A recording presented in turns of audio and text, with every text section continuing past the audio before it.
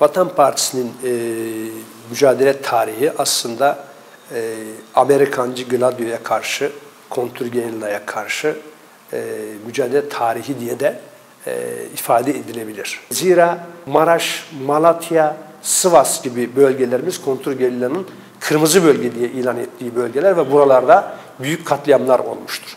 Dört dörtlük bir kontrgerilla eylemidir. En önemli e, örnekler Maraş olayıdır. O zaman bir karargah kurduk biz e, burada genel merkezde.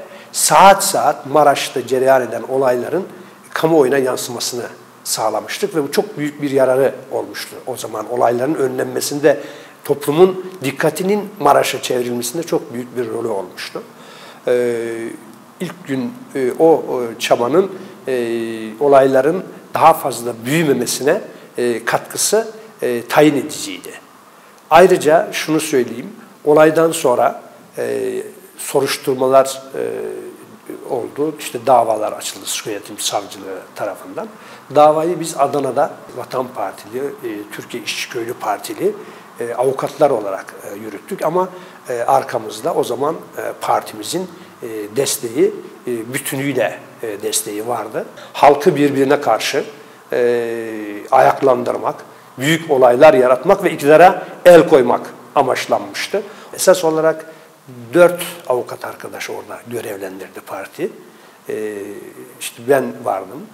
E, şimdi e, Mersin'de avukatlık yapan e, arkadaşımız Ali Kalan vardı.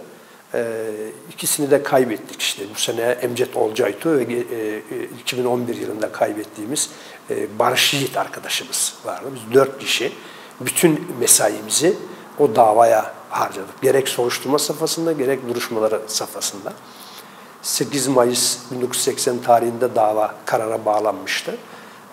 30 ee, civarında sanık e, idam cezası aldı ve çok sayıda sanık da e, ceza aldı.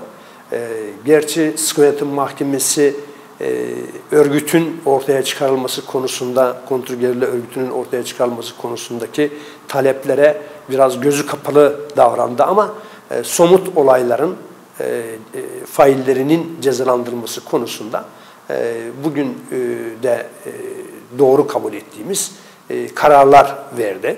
E, o, ta, o karar tarihi bir karardır. 180 klasör civarında e, dosya e, vardı ve sanıyorum e, 3000 sayfayı bulan bir gerekçeli karar e, oldu. Biz o davayı askeri yargıtay safhasında da 12 Eylül darbesinden sonra da e, yürüttük e, ve o davanın e, bir tarihi e, belge olarak, kontrgerilla'nın yargılandığı bir tarihi e, belge olarak e, geleceğe e, mal olmasını sağladık.